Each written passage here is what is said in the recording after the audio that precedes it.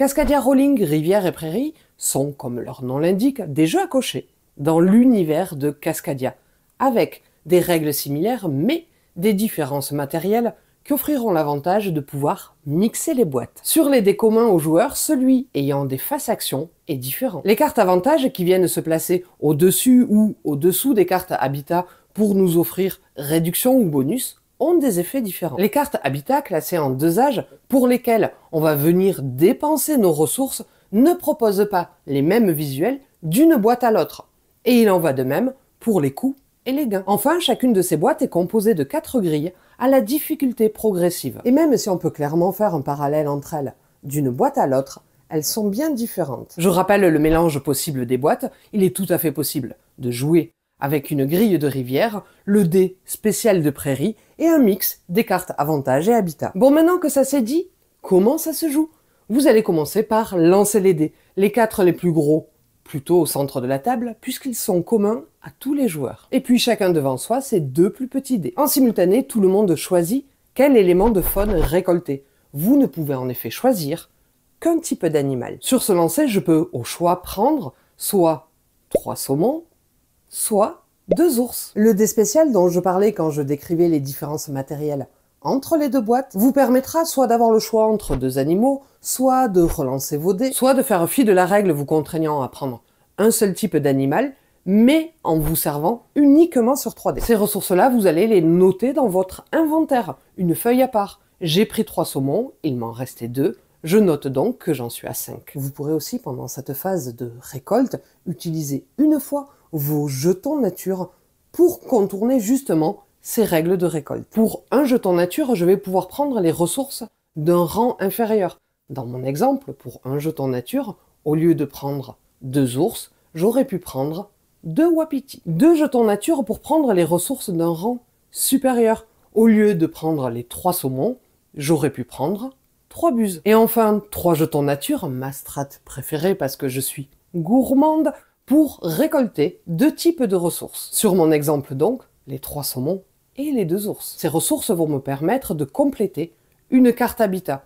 Au centre de la table, vous trouverez une rivière, y compris dans la boîte prairie, de quatre cartes habitat. Cette rivière n'est au début de la partie composée que d'une seule carte. Après chaque manche, cette rivière est décalée d'un cran en rajoutant une carte de la pioche. Quand une cinquième carte doit rentrer en jeu, celle à l'extrême droite est défaussée. La partie prendra d'ailleurs fin quand la pioche, composée initialement de 20 cartes, sera épuisée et que l'on ne pourra plus donc, à la fin d'un tour, ajouter une carte à la rivière. Donc, sans ordre de tour, c'est-à-dire sans réservation de cartes, chacun va pouvoir, à chaque manche, compléter une carte habitat en dépensant des ressources. Comme vous pouvez le voir, des cartes avantages qui, elles, ne glissent pas à la fin de la manche, sont disposées au-dessus ou au-dessous des cartes habitat en fonction de leur type. Au-dessus, des réductions, au-dessous des bonus supplémentaires en cas de complétion. Cette action n'est pas obligatoire, ce n'est pas parce que vous avez les ressources que vous devez valider une carte. Par contre, vous ne pourrez bien en valider qu'une par tour. Dans l'ordre et par un exemple, je dépense mes ressources.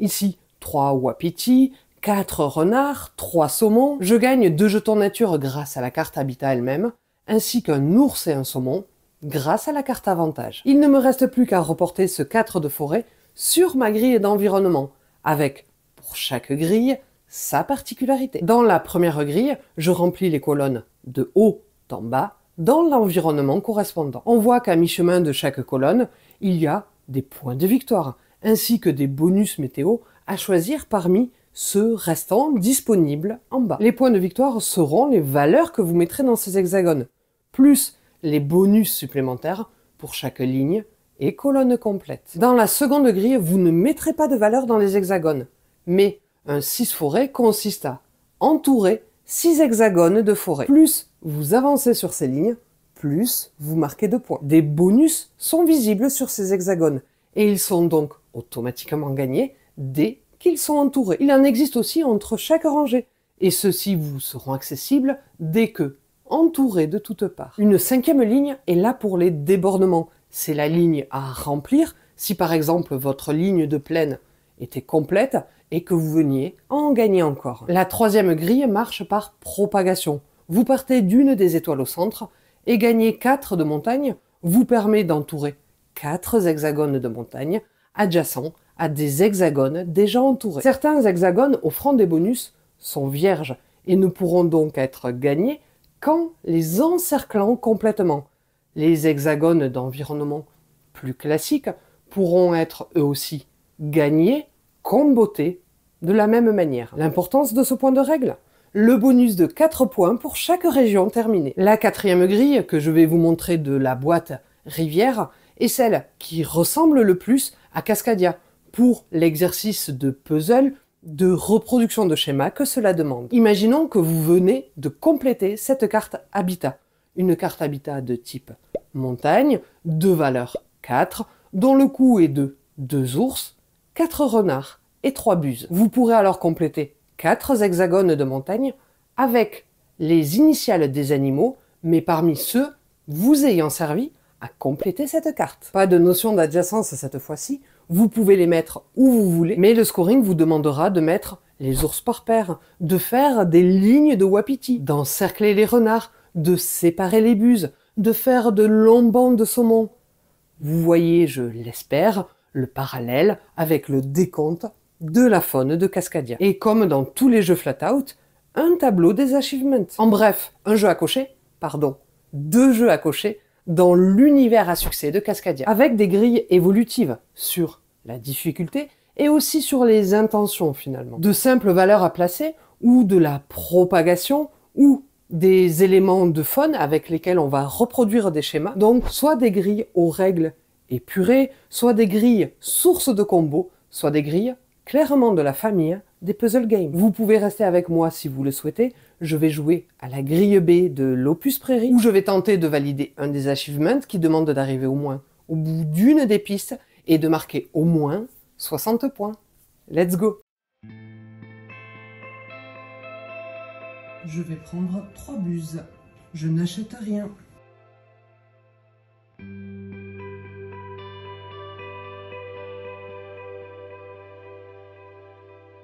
Je prends trois renards.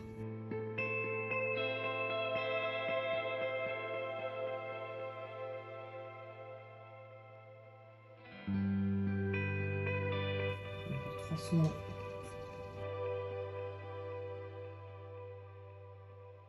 Ça me coûte 3, 3. 1 et 1, je gagne 2.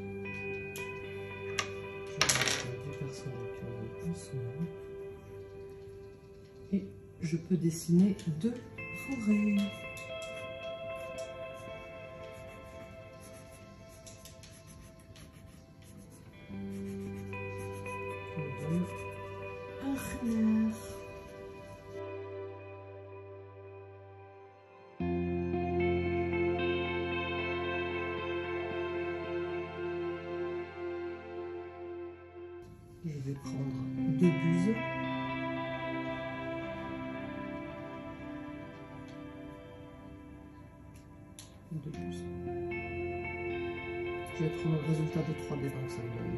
Buse, buse, buse, wapiti. Je n'achète rien.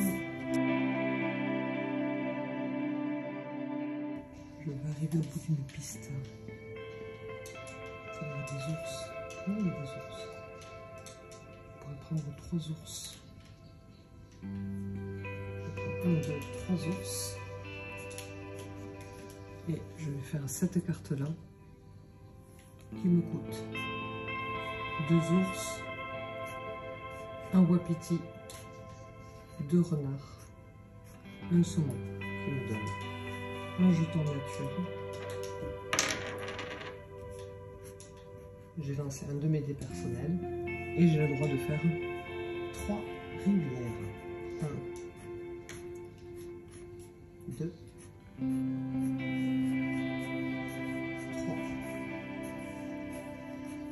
Bonus, j'ai un saumon et un paysage ici.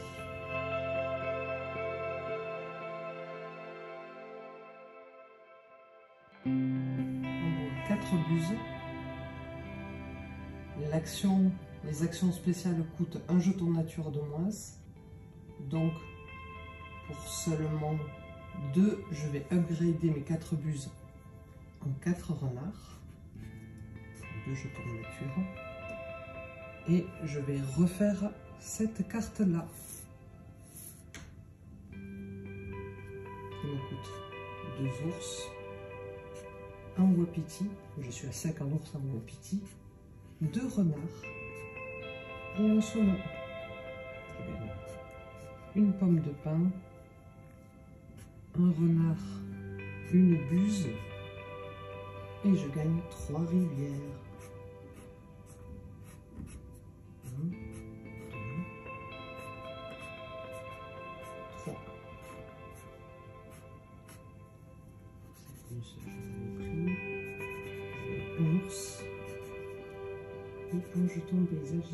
Donne la ressource de mon choix.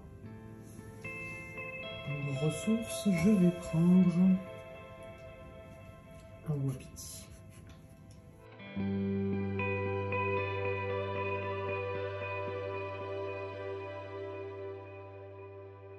Je peux relancer les deux personnels jusqu'à deux fois. Je vais relancer celui-ci. Et encore une fois celui-ci.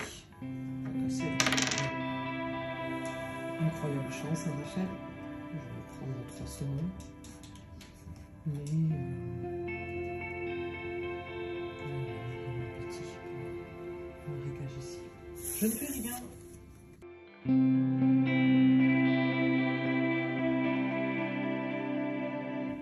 Trois ours. Et je vais faire cette carte-là. Qui me coûte mon dernier wapiti. Deux renards. Deux buses. Qui me donne un jeton nature. Qui me permet un de personnel. Une buse et de dessiner deux montagnes.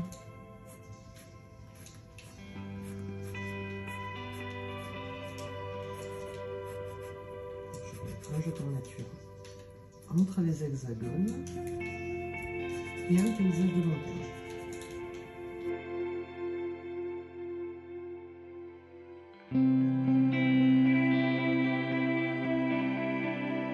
Absolument du renard.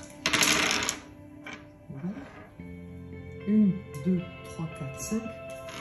Merci d'aider 5 renards. Et je vais faire cette carte-là. J'utilise... Je vais utiliser la réduction. Pour deux jetons nature, je paye 3 ressources en moins. Donc je vais m'éviter de payer les renards et une buse. Donc ça me coûte une buse et 4 saumons je regagne immédiatement deux jetons de nature et je dessine deux rivières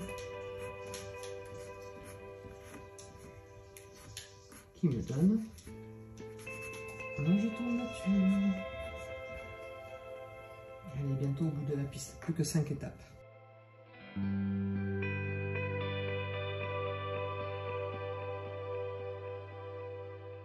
Prendre deux buses et je ne vais rien acheter volontairement ce tour-ci.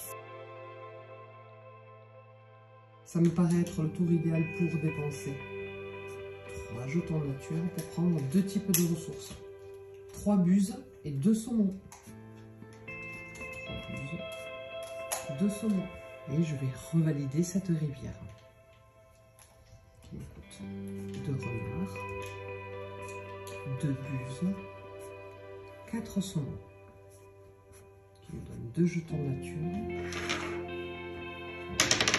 des personnels, un renard, et qui me donne deux rivières, un paysage, et au choix, je peux prendre le type de paysage qui me convient.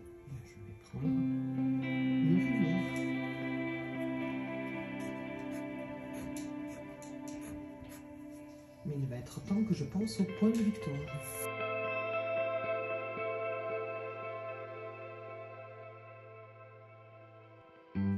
prendre les ressources sur 3D.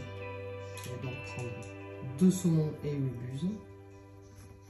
4, 6. Et je viens encore valider cette carte-là qui me suit.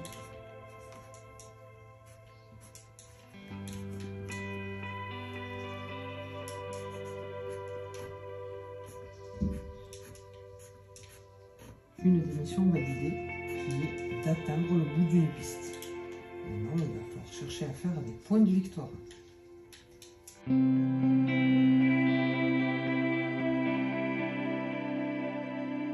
Pour avancer mon deux personnages jusqu'à deux fois, je m'en contente. Et je vais prendre deux types de ressources, deux buses, trois renards.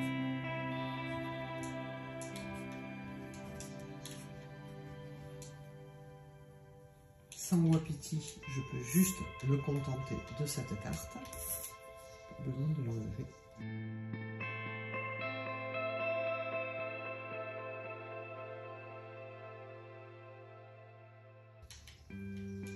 Qui me donne un marécage.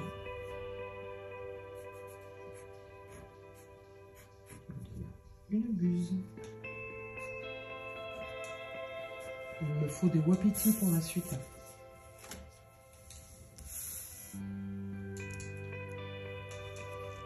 On en arrive aux cartes d'âge 2. Allez, je prends deux Wapiti. Et je vais faire cette carte ici. Trois ours. Deux Wapiti. Trois buses. Deux jetons de nature.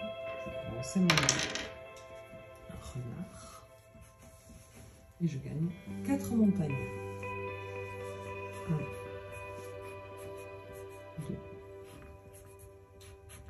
3, 4.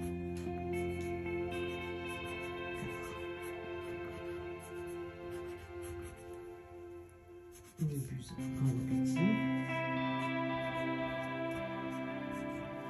Un paysage de montagne. Me donne une ressource de mon choix qui sera un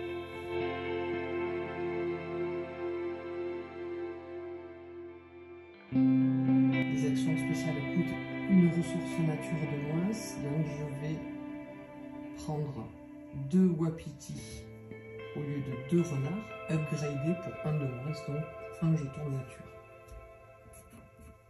Et je n'achète rien. Je vais prendre sur trois des différents saumon, saumon, wapiti.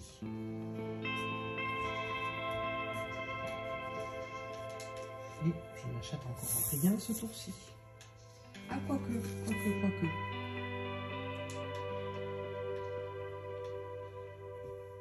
Je vais m'acheter cette carte-là. Pour deux jetons de nature, je paye trois ressources nomoises.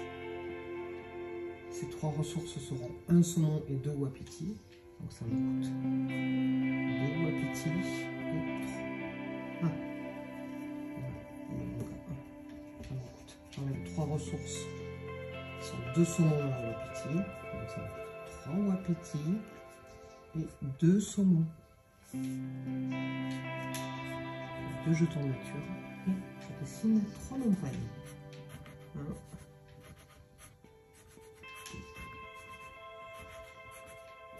trois. Je cherche à aller au bout des pistes. Je ne sais pas s'il vaudrait pas mieux aller chercher des bonus entre les lignes. J'aurais pu au moins choisir deux lignes adjacentes.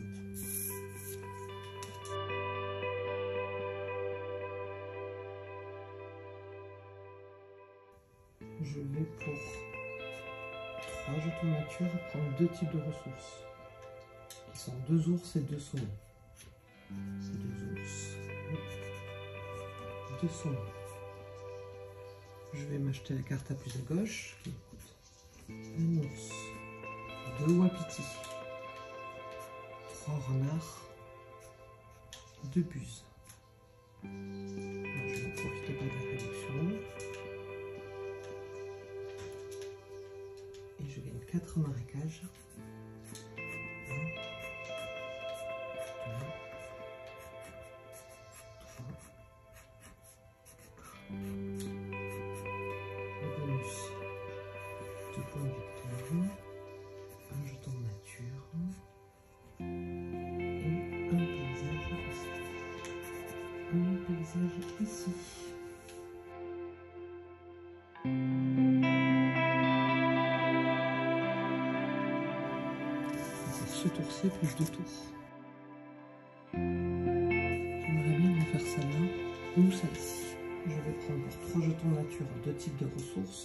Deux ours, deux wapiti.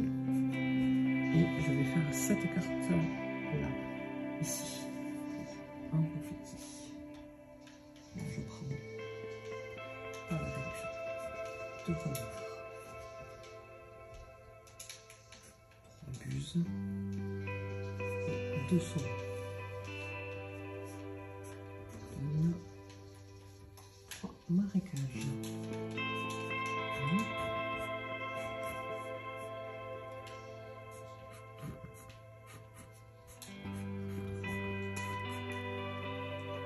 L'hexagone de mon choix. Je vais prendre une montagne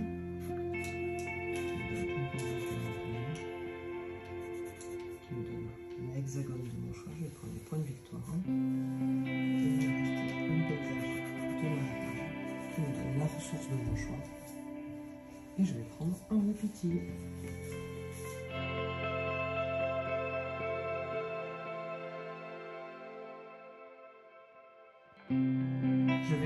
2. Je vais faire cette carte-là. Un ours. Deux wapiti. Trois renards. Deux buses. Deux jetons de nature. Un de mes dés personnels. Et je dessine quatre marécages.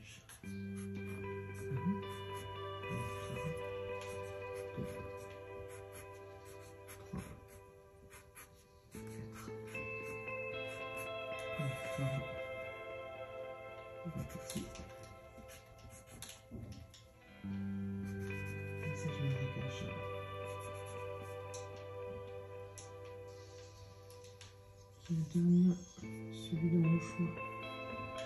Je vais prendre forêt. Ici.